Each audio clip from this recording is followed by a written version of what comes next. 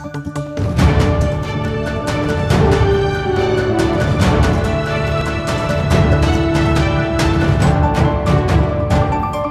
it's Katrina Dew here with the Three Step Realty Group, welcoming you to Step into the Valley. Now, today we're going to talk about the monthly market update. First of all, I hope you guys all had a wonderful Thanksgiving with your families last month.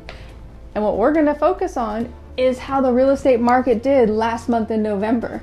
Um, now, you know the best way to see where we are today is to compare us to yesterday. So, like we do every month, we're going to look at the stats of the real estate world for November of 2019 this year compared to 2018 November.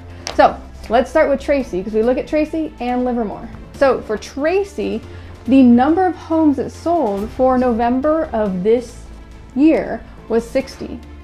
And the number of homes that sold last year in November was 62. And out of those 60 homes that sold this year, the average sold price was $501,000 compared to November of 2018, the average sold price of those 62 homes that sold was $503,000. So what you'll see there by looking at those numbers is that we actually had a home sale value drop about 0.31%. Not much, we're still right there even with last year, so that's good. We'll keep an eye on that.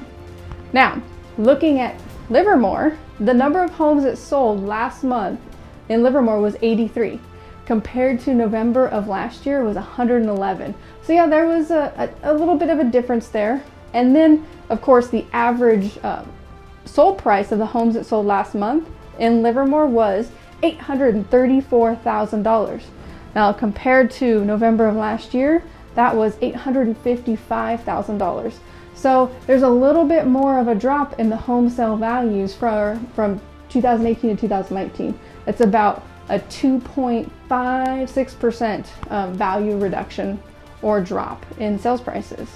So it doesn't necessarily mean a bad thing for the market. It just means we want to keep an eye on it and see what's happening.